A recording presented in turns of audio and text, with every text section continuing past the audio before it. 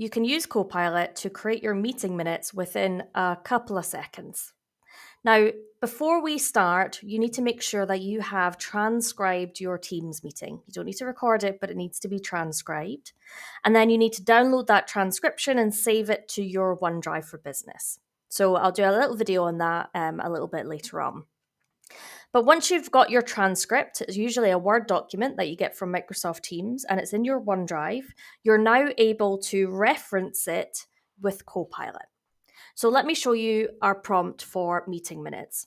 So I'm going to copy and paste my meeting minute prompt.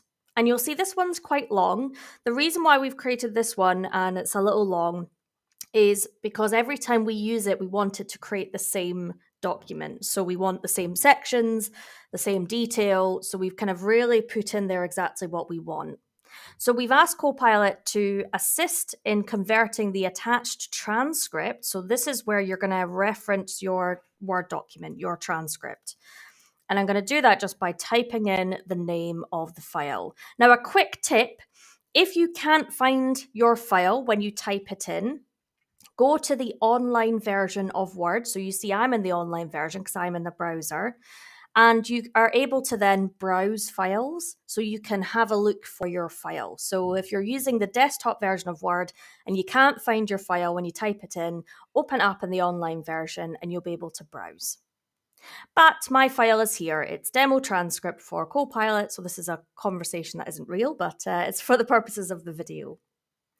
I've also described what I need. So I've said identify key sections and I've given the sections attendees, apologies, summary of concerns, um, further discussions. I've also asked Copilot to keep that order. Now, that's another tip when you're prompting. Every time we use this, it did change the order of the section. So I've told Copilot to keep to that order. I've asked it to summarize discussions, highlight decisions, list all of the action items, the date, and the responsible party. I've asked it to um, format for clarity. So I've said use full sentences, use tables where appropriate, don't use bullet points. Another quick tip is you can tell Copilot what not to do.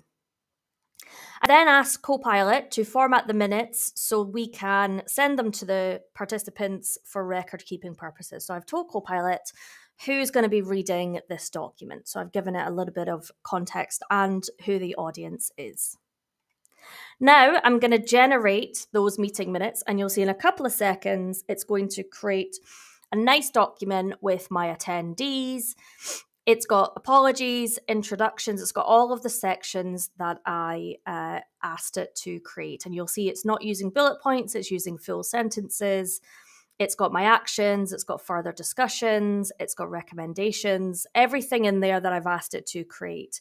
Uh, date of next meeting, so, if you are going to be using Copilot for your meeting minutes, try and start a brand new uh, Word document because you're creating a new meeting minute document.